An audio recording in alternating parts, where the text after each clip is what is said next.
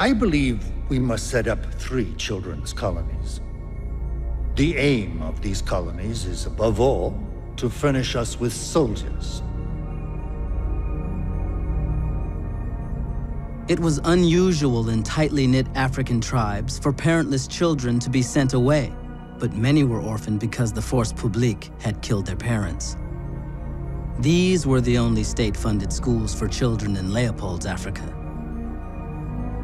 Disease was rife, and the death rate high. Several of the little girls were so sickly on their arrival that our good sisters couldn't save them, but all had the happiness of receiving holy baptism. They are now little angels in heaven who are praying for our great King.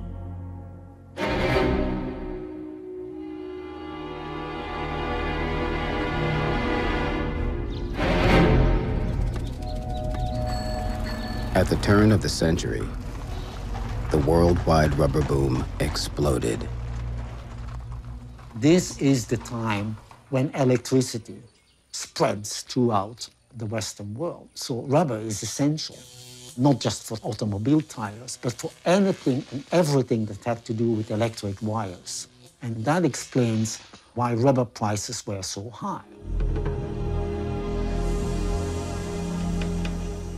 Nowhere did the boom have a greater impact than in the Congo, where rubber vines snaked high into the rainforests that covered half of Leopold's colony. The king had gone into debt with his Congo investments, but the return on rubber would surpass all his expectations. Rubber was not the most valuable product. Ivory was much more valuable, but rubber was what mattered.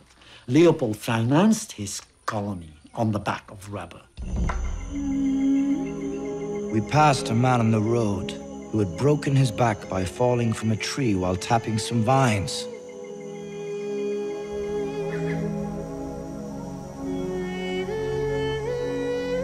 Rubber is a sap which must be congealed to be carried.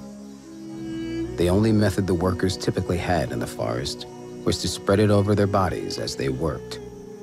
It caused excruciating pain when it was peeled away.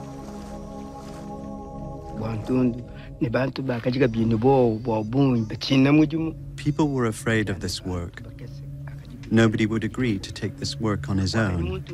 No, they were rather arresting them, chasing them up to their home, and they would tie their hands with chains and send them on the rubber job.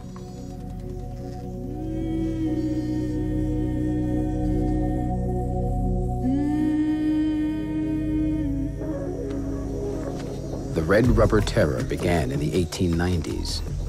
Two horrifying decades followed of murder and madness in return for profit. Villages were assigned exact rubber quotas.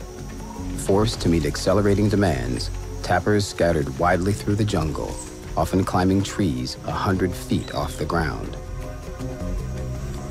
They could make a small incision at the base of the vine to tap it, or whack through the vine entirely. This produced rubber quickly, but killed the vine.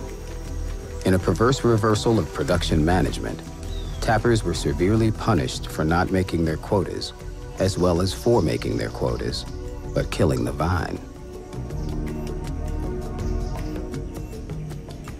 The native doesn't like making rubber.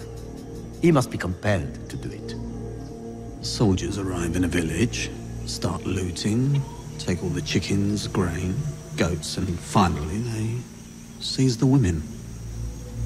These women are kept hostage until the chief brings in the required number of kilograms of rubber. Sometimes women were held hostage. Sometimes children. Sometimes elders or chiefs. The wives of villagers who resisted were killed, but often died anyway in the stockades, where food was scarce and conditions harsh. The women taken during the last raid are causing me no end of trouble. All these soldiers want one. The sentries who are supposed to watch them unchain the prettiest ones and rape them.